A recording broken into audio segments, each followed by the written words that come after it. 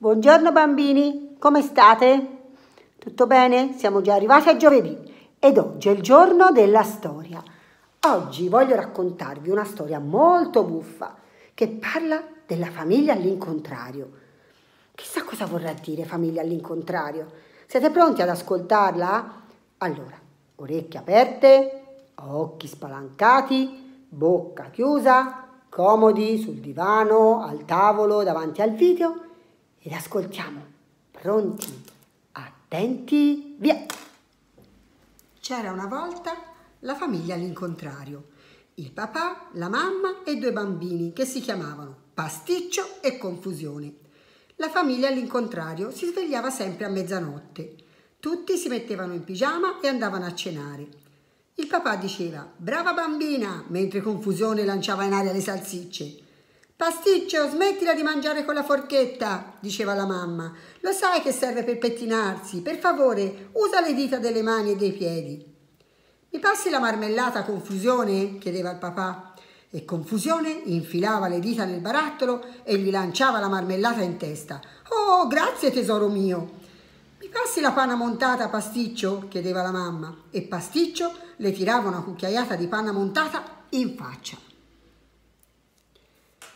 Finito di cenare, i bambini andavano a scuola e poi al parco. Più tardi, genitori e bambini suonavano insieme e guardavano la tv. Alla fine facevano colazione, si lavavano e andavano a letto. Ogni notte e ogni giorno la famiglia all'incontrario faceva sempre le stesse cose. Un pomeriggio furono svegliati da qualcuno che bussava alla porta. Che può essere a quest'ora del giorno? Oh, sbadigliò la mamma. Era la vicina, la signora Ciambella. Oh, cara, stava uscendo? No, perché dovrei uscire con il cappotto? Mi dispiace disturbarla, disse la vicina, ma ho un impegno. Potreste venire da me e dare un'occhiata a Lucia? È un vero angioletto la mia bambina. La signora, all'incontrario, aveva sonno, ma le piaceva aiutare gli altri. Certo, disse, ci spogliamo in un attimo. Non appena furono tutti pronti, andarono a casa della signora Ciambella. Che famiglia strana è questa. Mamma, perché la signora Ciambella si mette i vestiti per uscire? chiese confusione. Eh, le persone non sono tutte uguali. Poi, guardando la casa, spalancarono gli occhi. Tutto era in perfetto ordine. Povera signora Ciambella, disse la signora all'incontrario, mettiamola in disordine la casa. Si misero subito al lavoro Fecero una gran baraonda, disfecero i letti e sporcarono un po' in giro. Così va meglio, esclamò il papà. Lucia stava disegnando. Attenta, non metterti il grembiule, altrimenti lo sporcherai di pittura, le disse la signora all'incontrario. E poi, non sulla carta, fa il disegno sul muro. Non è disubbidiente, sussurrò confusione alla mamma. Eh, non tutti possono comportarsi bene come te, tesoro. Abbiamo fame, dissero i bambini. La mamma diede un'occhiata all'orologio. Erano già le cinque. In effetti è ora di colazione, disse. Cerchiamo la camera da letto. Impiegarono molto tempo a trovare dove la signora Confusione teneva il cibo. Che strana casa, borbottò il papà. È buffo mangiare in cucina, disse Confusione. La colazione l'ho messa sotto la tavola, chiamò la mamma. Non dimenticatevi di levarvi i piedi per bene. Cosa c'è di dolce? chiese confusione. I pomodori. Evviva, evviva! Ma niente pomodori finché non hai finito la torta. Devo mangiarla proprio tutta, mamma? Sì. Improvvisamente si sentì un rumore alla finestra. Era un ladro. Urrà! Abbiamo visite! gridò confusione. Finalmente una persona normale. Chi è che entra dalla finestra? Normalmente entrano tutti dalla porta. Accogliamo bene il nostro ospite, disse la mamma.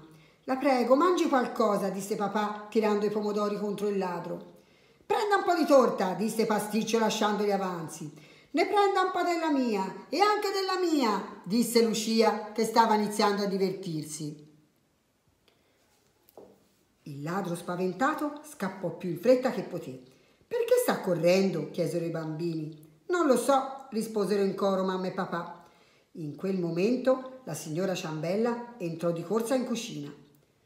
Va tutto bene? domandò. Ho appena visto uscire un ladro dalla finestra. Va tutto benissimo, disse il signore all'incontrario.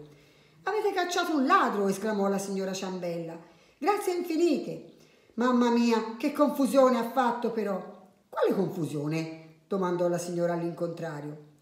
La famiglia all'incontrario salutò e tornò a casa. Certo che la signora Ciambella avrebbe potuto anche ringraziare, disse Confusione. Non importa, disse il papà, il mondo è bello perché è vario. Avete sentito buffa questa storia? Erano un po', un po strampalati, eh? Però con il loro modo di essere sono riusciti a fare scappare il ladro dalla casa. Allora, se vi è piaciuta la potete riascoltare e potete fare anche un disegno della parte della storia che vi è piaciuta di più. Se vi è piaciuta di più la prima parte quando i bambini si lanciano, lanciano tutto il mangiare, se vi è piaciuta di più quando buttano all'aria tutta la casa, quando mangiano sotto il tavolo o quando fanno scappare il ladro.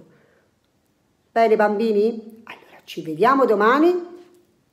Un altro super bacio un altro super abbraccio stretto stretto e oggi aggiungo anche un cuore. Ciao bimbi!